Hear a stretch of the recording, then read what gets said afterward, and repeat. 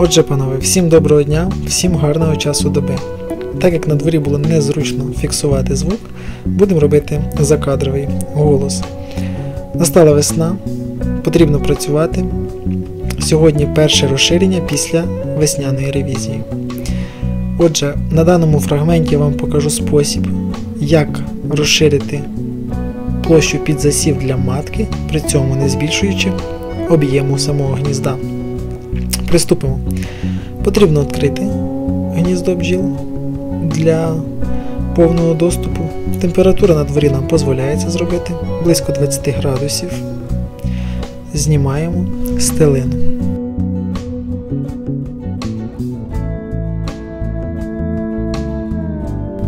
Після того, коли стелину знято, потрібно візуально оцінити кількість улочок, повністю обстрижених бджолами. Сім'ї за цей період могли просісти, а могли навпаки додати у своїй силі.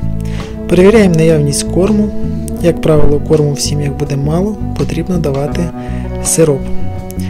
Третя рамка здебільшого повинна бути вже з розплодом у всіх сім'ях. В даному випадку розплід є, є і бджоли, які нам заважають працювати. Димар повісили на зручне місце. Дістаємо рамку, перевіряємо наявність розплоду.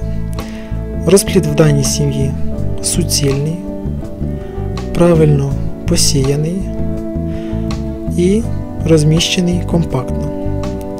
Якість матки відповідна. Перевіряємо далі для кращого оцінку стану самої матки. На цьому, в принципі, матку ми оцінили.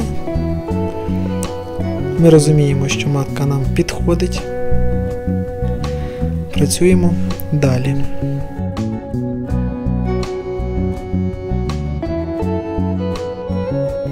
Після того, коли переконалися у кількості рамок, в даній бджолиній сім'ї їх було 4 рамки розплоду.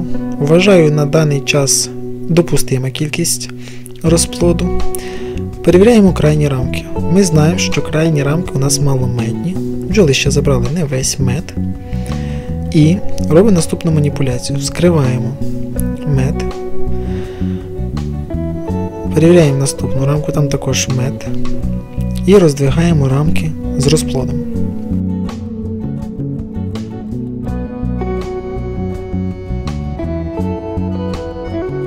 Після того, коли підготовили місце, ставимо рамку.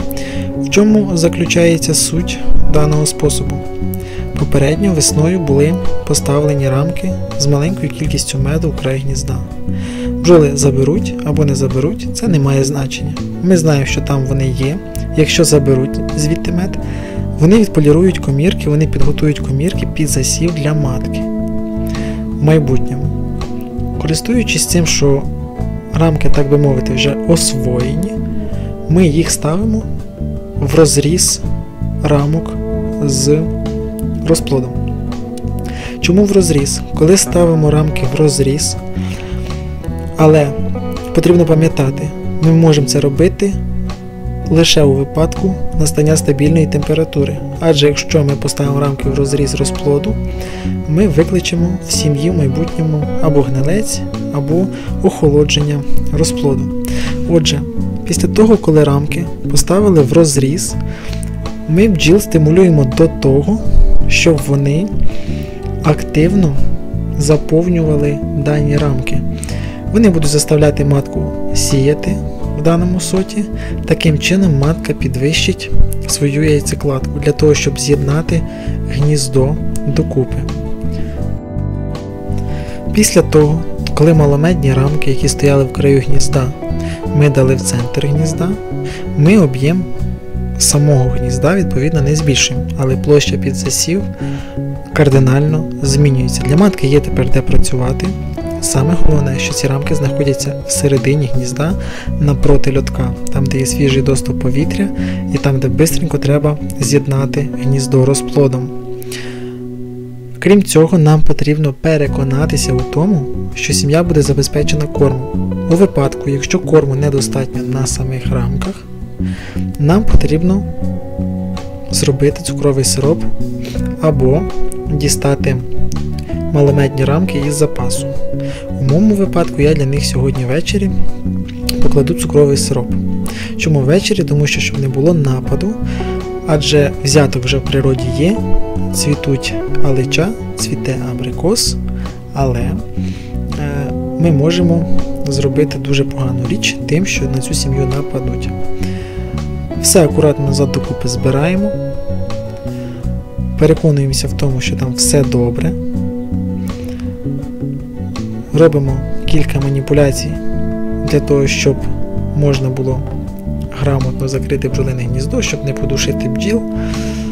Беремо так бджіл акуратненько струшуємо, закриваємо це все пледом. Плед дуже добре гріє, має хороший вентиляційний ефект.